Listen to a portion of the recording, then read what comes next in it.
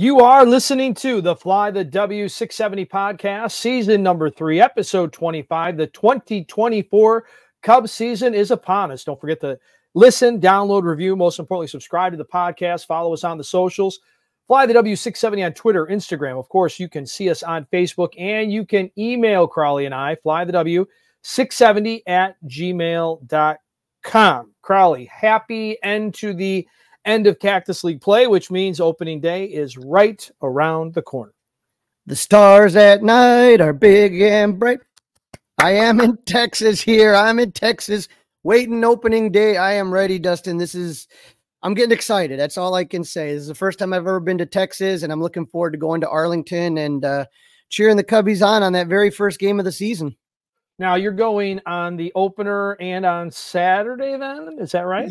Correct. You will not find me on TV on the opener, but on Saturday, look for me because um, we have like 500 people in the section behind the Cubs uh, dugout. So we're nice. gonna there's we're gonna be hard to miss. So it, it's gonna be a lot of fun. And then I get on a plane Sunday and then go straight to Wrigley for the home opener. Home opener, yeah. We're now we're now let's talk about the home opener for a couple of minutes because before the next time we're together, we are going to be talking about the uh, not only the road opener, but we'll be talking probably about the home opener as well, based on how the uh, schedule is laid out. So if people want to uh, experience a home opener Crawly style, how exactly does one uh, experience Cubs home opener Crawly style? Well, you got to get there early. You want to try to get there. I usually start kind of bouncing around um, a lot of different. I know 670 the score will be down there. A lot of different people will be setting up parties all over at the bars. So usually first beer cracks around 9 a.m. Uh, you start walking around, going place to place, and and revisiting old friends. And after a few hours of that, you know, you I always like to eat outside of the ballpark. I, you know, I'm kind of, you know, I've been eating levy food for about like 40 years. So I, I usually kind of try to find something outside, get get myself something to eat, and then head in usually right there. But uh, the festivities are always great. The Cubs do a great job on opening day. Now, do you like after, to make sure you get in there for you know introducing everybody and everything, right? You don't miss yeah. Anything. No, no, no. I, I, get I don't miss anything. I get in um I try to get in like maybe like 12 30ish would probably be around the time. But I like when when Jeremiah Paprocki announces the players and they line up on the, you know, on the first and the third base side and all that fun stuff. So um, you know, I, I can't wait to hear like, you know, who gets cheered. I mean, that Cody Bellinger is probably going to be like an explosion by the fans. Right. So that that to me is a lot of fun. I, I, I love every moment of it. and I don't want to miss a second of opening day. Very, very cool. Very cool. All right. So let's get on to the business at hand, and that is a wrap of the Cactus League play. We got a little bit more action to go. Yep, yep, yep. There was some interesting events that have happened in the last couple days as far as it goes. But Dustin, for me, especially when you get to this last week of Cactus play, you know, you wonder how much each at bat, each inning pitched, how much the Cubs are still trying to evaluate players for the last remaining roster spots. On Thursday, the Cubs beat the Rockies five to two. The Rockies got on the board first when Drew Smyly came into the game and went two innings. He gave up three hits, two runs with two Ks. He gave up a two run homer to put the Cubs down two to nothing. Dustin Smyly's pitched 13.2 innings this spring and he's given up 12 earned runs and five home runs. I'm no mathematician, but that's roughly one run per inning that he gives up and one home run every three innings. So Eh, ugh, that's probably why he's going to be starting in the bullpen as opposed to starting in the rotation while he's trying to he clearly is still trying to work some things out. Yeah, and and I think that it works out better that way. But he's not, you know, the longer he's in, the more he's going to get tagged. If he's in for one inning, you you, you hope that he could just get through that without giving up any runs. Now, um, it, the Cubs got one back in the fourth when Dominic Smith hit a double to make it two to one and tied it in the eighth on a Liam Spence single. Then in the ninth, Cole Roederer, who's had himself a nice spring, hit a three run blast to give the Cubs a 5 2 win. Another tough performance by Smiley, Smyly and another strong start by Dom Smith. You know, we're going to talk in the third segment about roster decisions, but both of those guys, you know, their performances, not just that game, but just in general, you know, it, it you it reflects on what's happening right now. Uh, on Friday, the Cubs played a split squad game with the Giants as Justin Steele took what was supposed to be his last tune-up start before opening day. But then, to the horror of every Cub fan, Justin Steele was hit in the knee by the leadoff batter on a comebacker in the second inning, and he had to come out of the game Dustin, how sick to your stomach were you when you saw that? Yeah, I was uh, really worried. It uh, really bothersome. Um, not that I didn't think he should be out there, right? I mean, he has to keep getting uh, tuned up, but about the worst possible thing you could see as a Cub fan. Yeah, and, and and you know when you look at this, I don't. I think the Cubs still need an ace, another bona fide ace. I would love them to get Jordan Montgomery. I don't think that's happening, but if you're telling me you don't have Justin Steele, I mean, there's no chance.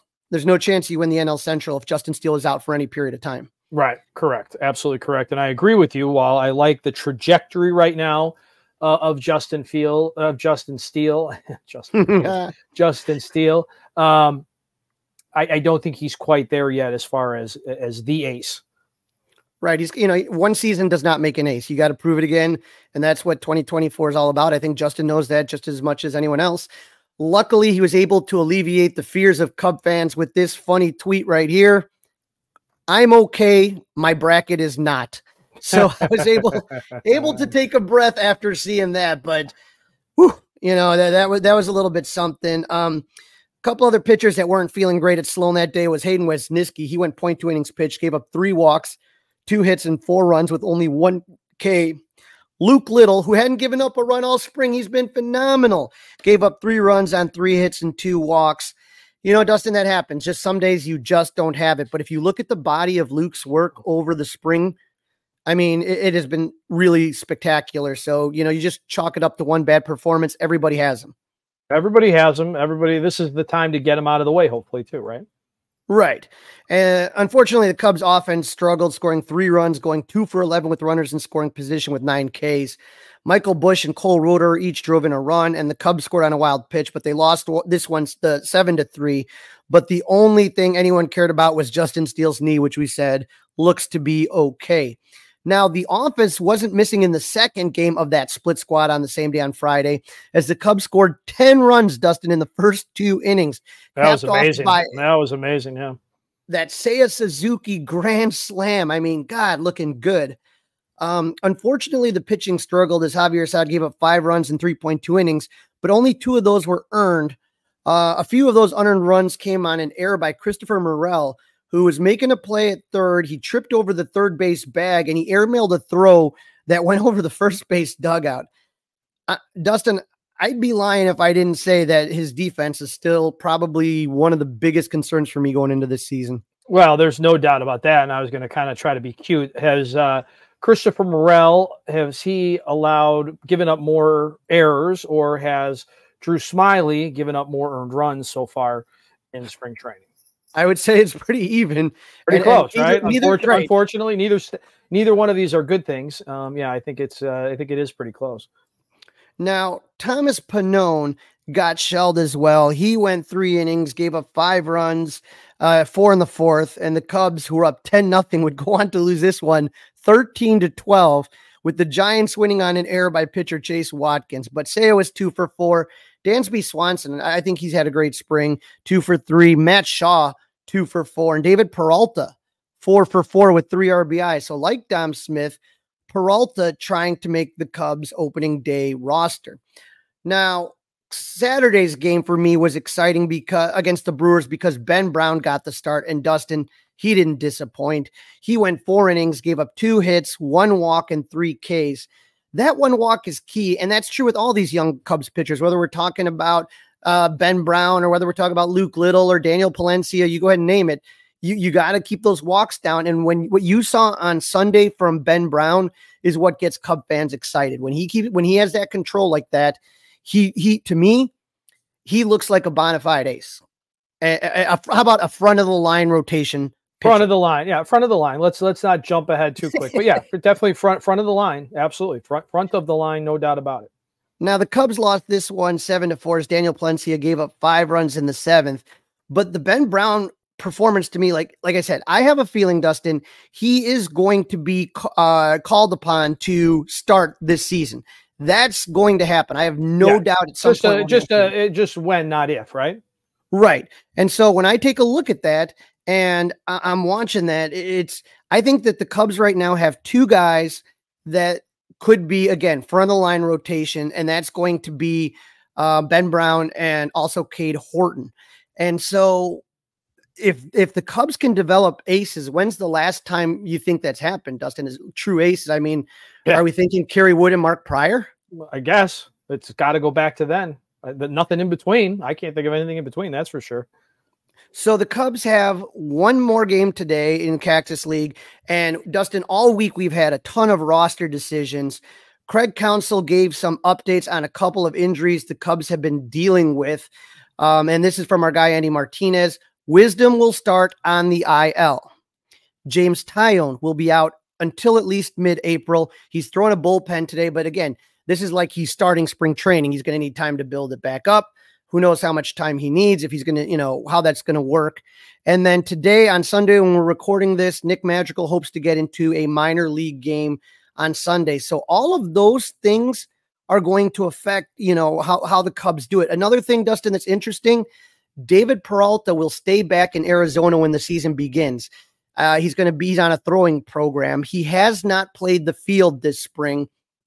But Dustin, when you look at the guy, he's been hitting the snot out of the ball. I mean, he looks yep. he's always been a professional hitter. He's he's a guy that really just I don't know. I I'm, I'm looking at him and I'm like, boy, do you want to lose that guy because of of just every every time he's up and, and you know you got to think he's been injured. He's recovering from injury. Dustin, he's seven for 16. He has one home run, a double, a triple, five RBIs. I mean, that's pretty darn good, I would say.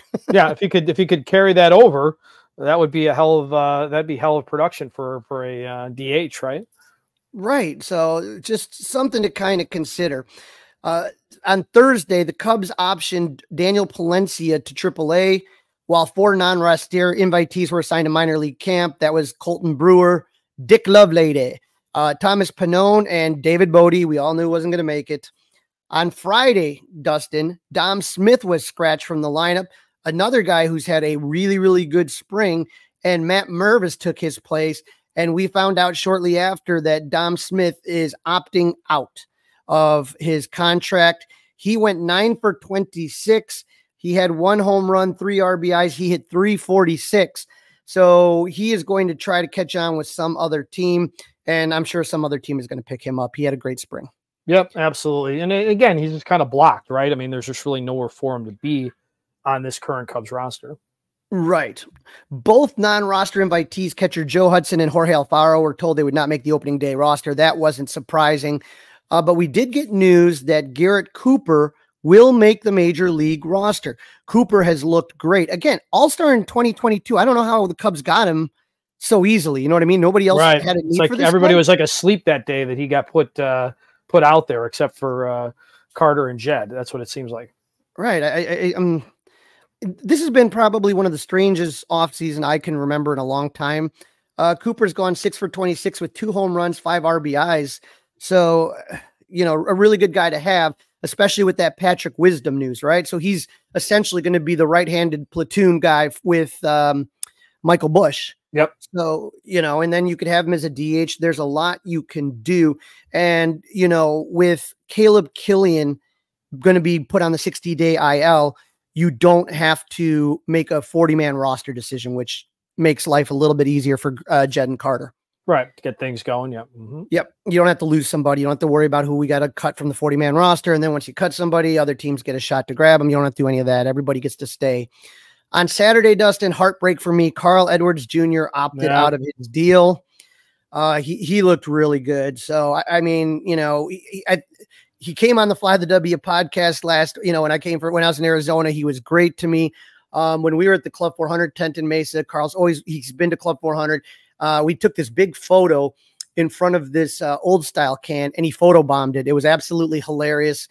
Uh, from everything I've heard, like the, they loved him in the clubhouse, good leader.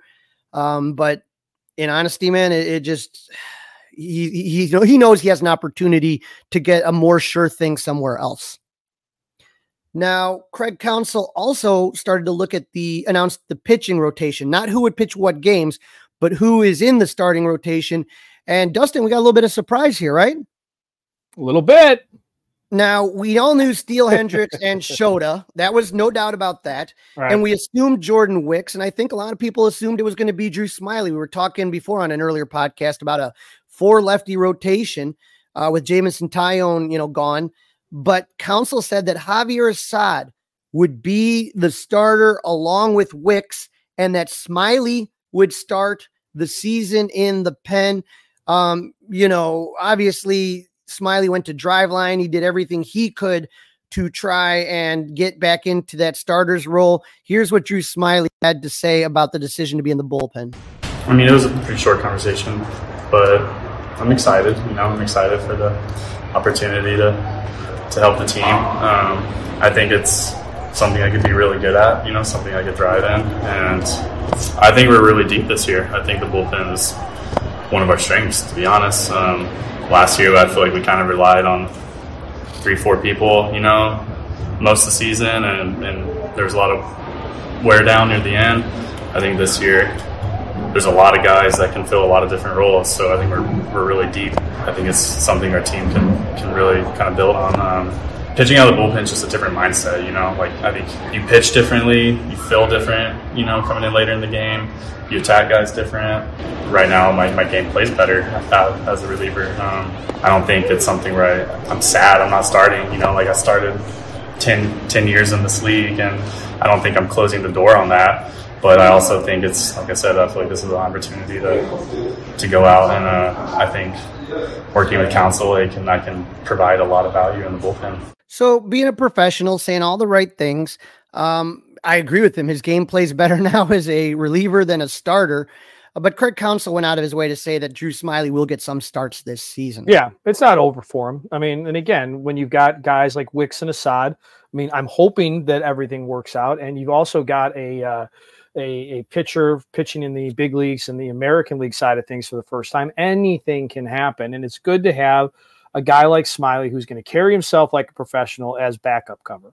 Now, Dustin, one more thing on this pitching rotation situation here is my friend Arizona Phil. I spent a lot of time on the backfields talking to him when I was in Mesa. He had a note that said this if Smyly moves to the pen, he will probably not reach a $3 million performance bonus he would receive if he hits 110 innings pitch. So Smyly hits 110 innings pitch, it's in his contract, he would get an extra $3 million. So with the Cubs being up so close to the luxury tax, that first tier luxury tax, like they are this right at it, yep. right at it, to not have to pay that $3 million could – really pay dividends. So I don't know, Dustin. I'm curious what you think. Do you think that you know uh, that Craig Counsell saw what we saw, where the the he was giving up a lot of home runs and just wasn't very didn't look really great out there, and that was the decision that let's go with Assad instead? Or do you think that Jen Carter might have said something, or even with Craig Counsell, because Craig Counsell's in on those discussions? I, I, I think that his performance allowed it to make the decision easier, but I wonder how much they were thinking about that performance bonus.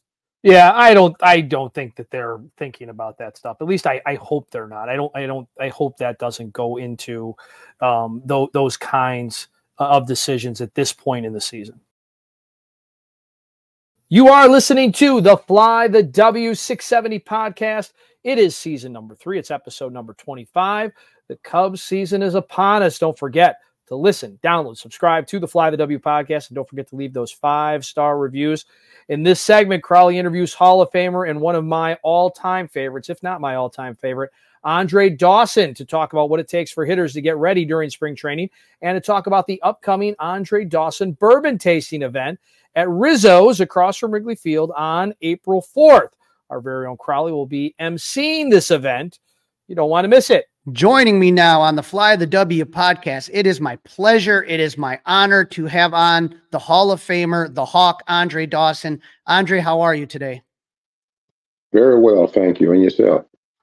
I am doing well. I'm excited because a opening day is coming up. The Cubs opener is April 1st at Wrigley Field.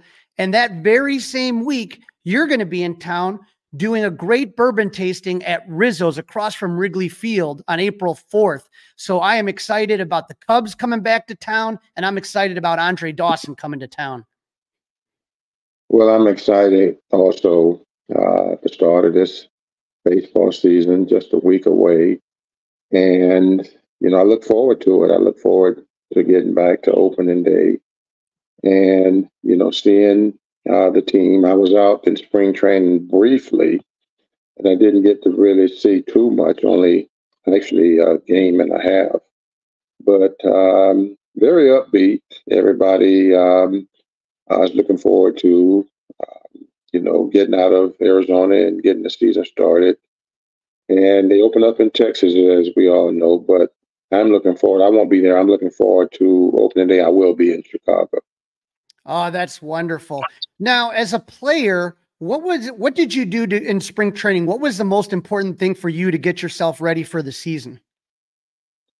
Well, I got myself ready for the season prior to spring training, and that was, you know, most of my conditioning and strengthening of the joints, especially the arm. Uh, spring training uh, was the necessary month to get your rhythm, your timing. Uh, when it, you know, came to uh, performing offensively, so playing in the games, uh, all of I would play in all of about thirty plus odd games or so. And you know, each day you go out, uh, you do something that prepares you for day one of the regular season. And for me, the most part was getting the kinks out, uh, making sure that uh, my rhythm was where I wanted to be, the timing was on, and that's what you know I geared myself in spring training for. The off season was conditioning and that sort of thing. But you know, playing the games and re- recreating that familiarity uh, itself was what I looked forward to in spring training. Now, how big of a part is it at spring training as getting to know the team and starting to gel as a group? Well, there are always changes, of course, uh, during the course of the off season. Uh, there are there are trades, there are free agents that are signed, there are new players uh, that come aboard and are given a look. So uh, again, the familiarity of the individuals that you're around, getting to know them, their makeup, you know, how you're going to perhaps gel together as a ball club. All that plays an important role during that one month session. And that's a big part, that's a big and integral part of, you know, how you get out of the blocks and how you gear yourself for the season itself. Now, I remember in 1989, the boys of Zimmer, that spring training did not go good. Did you guys as a team really worry about the results of spring training or did not get in your head too much? Not really. You don't you don't worry about a lot that you go on doing spring training other than the fact that hopefully you don't have too many injuries. Uh, but the season is a different monster. Um, we were a team that was a mixture of some seasoned veterans and we had some young players uh, who were trying to not only just make the ball club but make the starting lineup, and that proved to be pivotal as far as that season was concerned because we had two players who sort of battled it out for the Rookie of the Year award, who played a, a very pivotal part in the success of the team. So you don't really uh, draw too much conclusion about spring training. You just hope that you can break camp and you're healthy. And that's when the bell rings and, you know, you sort of become a different kind of ball player. Now, Andre, the as I said, Wrigley opening day, you're going to be there. I'm going to be there April 1st. But especially for fans in the Chicagoland area, and I know a lot of people that also come and they spend that first week at Wrigley Field just getting in all that opening week vibes. There's going to be a special event at Rizzo's, which is across the street from Wrigley Field on Thursday, April 4th from 6 to 10 p.m. And you have a bottle of bourbon that is for sale. And this is really exciting. Uh, tell our listeners about Cooperstown Brewery and Distillery and how you got involved with them. Yes, I entered into an agreement uh, with Cooperstown Brewery. Uh, they wanted to um, sort of invent a bourbon of all things, and I'm not really a drinker, uh, but uh, the theme seemed to fit very well. Cooperstown, um, Andre Dawson, being that I'm in the Hall of Fame there, and uh, the concept that they had. Uh, from what I understand, a lot of people who have tasted, tested, tried it, uh, who are bourbon drinkers seem to like it. I can't really tell you what it tastes like because I'm not a drinker. But the event itself, again, like you said, is going to be Thursday. And I was happy, you know, when they uh, approached me to be a part of it. There are some other athletes uh, throughout the the uh, uh sports industry uh, who have ties to Cooperstown and who worked uh, with them in similar projects. And when they reached out to me specifically, in particular, yes, I was I was excited about the prospect of coming aboard and working with them. So, if you are going to the event, each attendee is going to receive one bottle of Andre Dawson Elite Limited Edition bourbon. And I actually have a bottle of it here, Andre. I keep one for display, and then one is top shelf for when I have special guests in the Cubs cave. And this is what it looks like. The one that are, the, each attendee is going to get is actually going to have a metal plate on it, and you sign each of those. Is that correct?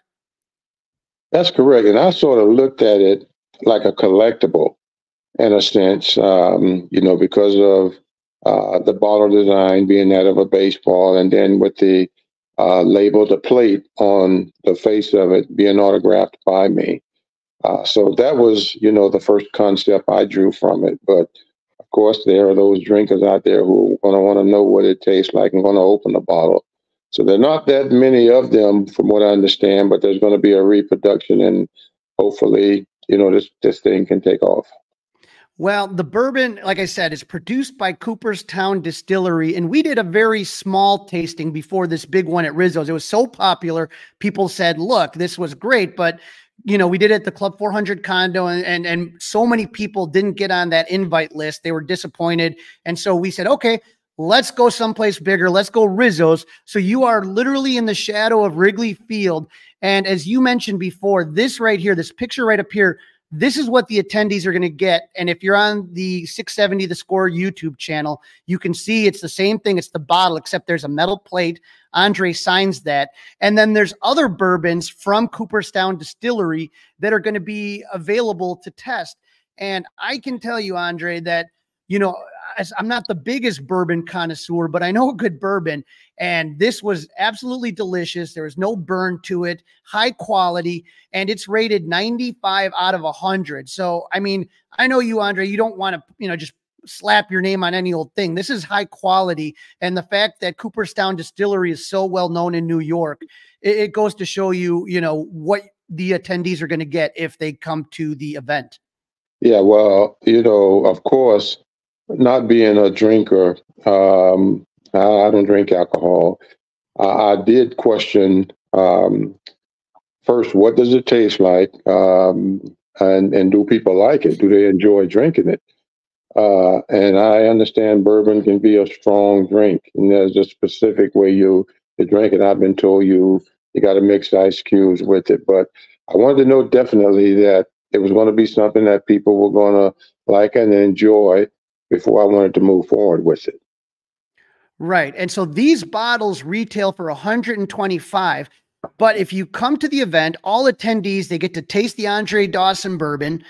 You each attendee will meet you, post a post for a photo with you, and then they get the bottle of bourbon photo taken with their cell phones. And that's what I did last time. If you see this picture right here, there's me and you at the Club 400 condo, and I have the bottle of bourbon right there. And, you know, we just had so much fun last time tasting these bourbons. And, you know, we, we got, you know, you tell some stories. There's going to be a Q&A, which I'm going to be hosting. It's a 20 minute Q&A. I'm going to tell some stories. We're going to take some questions from the audience. How much fun do you have telling some of those stories of the past? it just reminds me of, you know, the past and uh, the times, actually. And but most important, you know, I, I really get a kick out of uh, the fans, uh, just mixing, mingling with them, and you know, they even have stories and and listening to some of that. But I enjoy that uh, because there's there's there's not a fan like a Cub fan, and when you get the opportunity to just you know spend that that kind of cozy moment with them. I look forward to it. It's exciting. It's fun. and you know it makes for a pleasant, enjoyable uh, evening and event. And and Andre, not only are they going to get to you know get the bourbon, get the photos, get you know get to taste the bourbon and listen to the Q and A. You will sign one item personally autograph. You're gonna you're gonna autograph for it. So the if, if any attendee they bring an item and you will sign it. And Andre, I, I am gonna admit I have a lot of items that got signed from you over the years. I'll tell you why though. Here, here's a here's a 16 by 20 I have of you and you actually told me how it should what inscription should be on there. You actually said, I recommend this. I went with your recommendations, got your rookie of the year and MVP on it. This was a baseball that you signed with the Hall of Fame inscription. And then this is one of the pieces in my collection that I, I cherish. There's only 15 of these made where we'll tell the story at the event because, you know, I, I don't want to keep you too long, but the blank contract. But when you look at your writing, how important was it for you to, you know, now some of days I see autographs and I can't even make out who it is.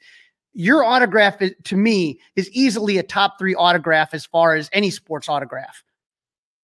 Well, I, I guess I should take a lot of pride in it because uh, my one of my aunts, my first grade teacher, used to keep me after class, and she would make me write on the chalkboard now, this, you're talking about first grade. And I not only wrote in manuscript, but she taught me how to write cursive as a first grader. And I thought it was a form of punishment uh, because everybody else was going home. But I later on saw the significance in it. And yes, I, I really take a lot of pride in it. I take my time with it. You know, I'm I'm never in a rush for anything anyway. But uh, I think it's something that you know, if a fan requests that, at least make it legible so they can uh, some sort of way make out what it should say. And you know, for me, I don't just like to let just throw anything on whatever it is, a ball, photo, or bat. I want it to be legible. And not only that, you're one of those people that you you always are very kind to the people when, when they come to get things signed. You talk to them, you listen to their stories, you don't just rush them out of the way. And I love that about you. Well, I appreciate that because hey, it's it's just another game without the fans. Right. And so Andre, I mean again, we're we're talking about a your every attendee is going to get one of these bottles of bourbon rated 95 out of 100 from Cooperstown Distillery. $125 retail. They're going to get to taste it. They're going to get to, to, post for pictures with their cell phones. They're getting one item signed personally by you. And not only that, you got a Q&A sec- session and we're going to be ruffling off some signed Andre Dawson items. So some lucky attendees are going to come home with even more stuff from you. So this is really an event that is is is we're raising money for charity to benefit Club 400 charities. Cub fans helping Cub fans. My friend Stuart McVicker. Uh, Andre, I know you've done a couple events with Stuart, and you know that Stuart always puts on top notch events. Yeah, he do, and uh, he. I got to give him a lot of credit for that. He really extends himself um, when it comes to that, and need to be a little bit, a few more people like him around. Oh, I 100% agree with you. If our listeners are interested and would like to come to this event, I'll be there. Stuart will be there. And obviously, the Hall of Famer, Andre Dawson's going to be there. And the guys from Cooperstown Distillery is going to be there to kind of talk about the distilling process, which is really, really cool. All you have to do is get your tickets at www.club400cubs.com. That's www.club400cubs.com. I'm going to tweet the link out. I'm going to put it out on Facebook. Anyone that's interested, but to me, Andre, this event on Thursday, April 4th at Rizzo's, right on Clark Street, right across from Wrigley Field from 6 to 10 p.m., is going to be the perfect event for opening day week. Wouldn't you agree?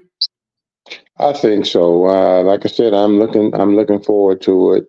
Uh, probably just as much as I'm looking forward to opening day, and I especially wanted to extend you know, the three days there being in Chicago, knowing that this event was going to be put on uh, for the purpose, uh, not only just for opening day, but for the event itself.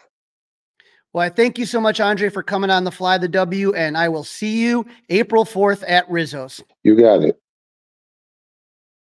This is the Fly the W670 podcast. It's episode number 25 of season number three. The Cubs season is upon us. Don't forget, listen, download, subscribe, and leave Crawly and I one of those five star reviews. All right, Crawly. So we had a little disturbing news as uh, Major League Baseball got underway in Korea. Could this th- this couldn't have been any worse for MLB? Well, it could know, have been worse. It could have been worse. It could have it, the, the story could have broke like in LA, and the NCAA tournament could have not been going on, and that would that, have actually been true. worse for them because um, not that it's going away, but that would have really made it something. Well, for our listeners, obviously, I think everybody knows, but the story breaks in Korea that Shohei Ohtani's like best friend, interpreter Ippei Mizuhara was gambling and is is part of a federal probe on gambling, and that there was money that that Shohei Ohtani was uh, sent to this bookie to cover the losses of his friend and translator Mizuhara. And so this is going to be a mess, Dustin, because they didn't get there. It doesn't seem to me that they got their story straight. And my guess is that they spoke before talking to lawyers because, you know, Mizuhara came out. First thing he says it was me. I was gambling. I did not gamble on baseball. Um, I didn't know this, that, or the other, yada, yada, yada. Shohei was very mad at me, but he wired the money to cover my bets, right? Well, after the lawyers kind of got a hold of that, uh, Shohei's lawyers, they then all of a sudden the story changed. Shohei did not cover any bets for his friend. His friend stole the money to pay off the bets. And so the Dodgers did fire him, but but Dustin, this this smells bad. Oh, it, has got all kinds of stinkiness um, all over it. I mean, all all over it. Um, don't like it one little bit. There's something going on. The, the story from the interpreter has changed now three times, right? Three right. three times. So that's pretty uh pretty crazy. Yeah, something something stinks and um this is a bad, bad uh, uh, weekend for uh, Rob Manfred. There's no doubt about that. And Dustin, it took 48 hours for a comment from MLB on, on this huge story. And then when they finally announced that they're doing an investigation, it's on a Friday afternoon dump. You know all about the Friday afternoon. Oh, yeah. yeah. I know about that. that yeah. You mentioned it right in the middle of March Madness. So let's just kind of eh, push that off there. No big deal, right? Right. Yeah. Trying to hide from it. Yeah. It, it's a it's a bad look, and this isn't going away. And I just hope this isn't um, this isn't something where they have to sit uh, sit Ohtani down. Yeah, it's uh, it's awful. But you know what? He's so good and so important to the game. If it would have been, let's say, Dom Smith or Garrett Cooper who did that, you know they would have like dropped the hammer on him. But they're not going to do that with the Golden Goose. That's just my opinion. No, not not right away. At least, no way. Now, Dustin, there was a player survey, and this was interesting for Cub fans. The MLB players, right? Not not beat writers, not national reporters, the players were polled and asked which team will surprise people in 2024. And our Chicago Cubs made that list. So if you look right here, the number one team to surprise everyone, Kansas City Royals. Number two, Cincinnati Reds, which I said it was going to to me between the Reds and the Cubs. Yeah. Third, Detroit Tigers. Fourth, Baltimore Orioles. Fifth, Cubs. So good to see that other players believe that the Cubs are going to have a good team, right? Yeah, it's not a bad thing. I, I, mean, I'd rather be on this list than on another list. Like which which team will disappoint people in 2024, right? You don't want you don't want to be on that list. So I'm much more on the um on the surprise list than on the disappoint list. I got to ask you a question though. Okay, I'd be, you know, if, if the Royals, the Reds, the Tigers, the Cubs, any one of them go deep in the postseason, that would be a surprise, right? That would that, that would be very surprising. But the Baltimore Orioles made the playoffs and won over 100 games last year. Why would that be a surprise? I guess. Yeah, yeah, yeah. It's interesting. Exactly. You know, I guess you have to define surprise, right? That that's part of this. You have to define surprise. Yeah, everybody's I, everybody's definition's a little bit different, right? Yes, absolutely. Dustin, I, I was thinking about you when we got to this story right here about the Wrigley signage. The Chicago Cubs are asking the city council to allow the team owners to install LED lights signs on two buildings outside of Chicago. They did one of those infamous uh, AI renditions. This is what left field would look like. And so there would be a big Coca Cola sign on top of one of the rooftops in left field and a Benjamin Moore lighted sign on the right field. And when I look at these pictures, Dustin, it kind of reminds me of that park in San Francisco, right? Yep. I, I, I was thinking about you and the Toyota signs and all of that. And, and what were you thinking when you heard that story? Hey, if this money goes back to the ball club, I'm way I'm way past it now. It, I mean, you, once you start, once you start adding all this kind of signage, you may as well be all in, right? There's no reason to kind of dip your toe in the water. If you're going to do it, which they've done it and everybody's doing it, you know, keep cannonballing and cashing as many checks as you possibly can, in my opinion. Well, Dustin, I do agree with you to a degree. I don't want this to be a NASCAR stadium. I feel I, I and and the other thing, take any ads off the field. I know they have the Gallagher insurance company ads were along the lines last year, the first and third base lines. Get it off the field. But here's the thing, Dustin. I keep when when they started renovating Wrigley and adding these things, people ask me, Crawly, what do you think? Because they know I'm a traditionalist, blah, blah, blah. But you know, Dustin, I guess the thing that I kind of take a look at, the thing that bothers me is if you're telling me we need these revenue streams, then I want the Cubs to have one of the top payrolls in baseball year after year after year. I don't want to sit there and be like, well, you know, Shohei Ohtani, too much money. Oh, Yamamoto, too much money. No, we're not going to get Juan Soto. If you're telling me you need these signs and you need this, then do one of two things lower ticket prices or go after the, the big ticket free agents because – if not, then where's that money going? Right. Well, that's just it. Now we have to see how that money is then used. So I, am going to, as usual, I'm going to sit and wait and be patient and let's see what they do with it. I mean, you got the hotel, you got the bars, the Cub store right there on Gallagher Way. You have now the the DraftKings, right? Uh, I mean, these are you now have marquee. You have massive revenue streams that were unimaginable to us, Dustin, in 2003, let's just say. Let's go back to 2003. I mean, you had none of this stuff. So to me, like I said, either the Cubs should have one of the best payrolls or they should have they should lower the ticket and beer prices. Something's got to change. Like if you want these revenue streams, fine, but put them into the team. Yeah, put them into the team. That's what we all want. That's what they always say they're going to do. So we have to trust them uh, on that for sure. Crawly, we got a little bit of uh, breaking news during our podcast. Uh, Cubs and Dodgers have been informed that they're going to open the 2025 season in Tokyo. So tell your wife to uh, book passage so uh, you guys can get out to Tokyo. This is uh, according to our friend Bob Nightingale. Absolutely. Cubs and Dodgers in Tokyo to open 2025. Yep, I'm going to tell my wife to start uh, budgeting for that. I've never been to Tokyo. I have a one of my best friends actually lives out there, oh, and so so you've got a place to stay.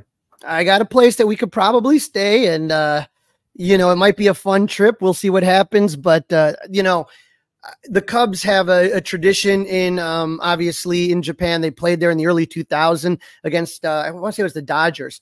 So I remember Sosa and Piazza were the two big guys out there.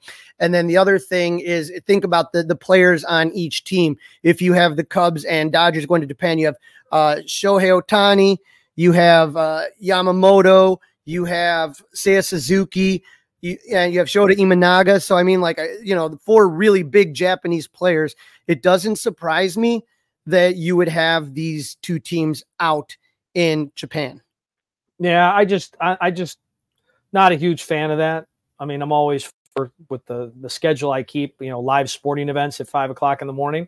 I'm all, I'm all for that, but uh, this I'm not. This I'm not on board with. I, I want the Cubs to start here. I, I don't, right. I'm not.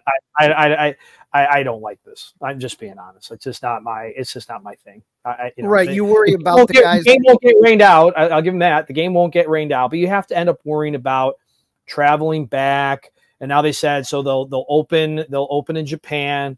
Then they're going to come back to Arizona, take a little bit of a breather.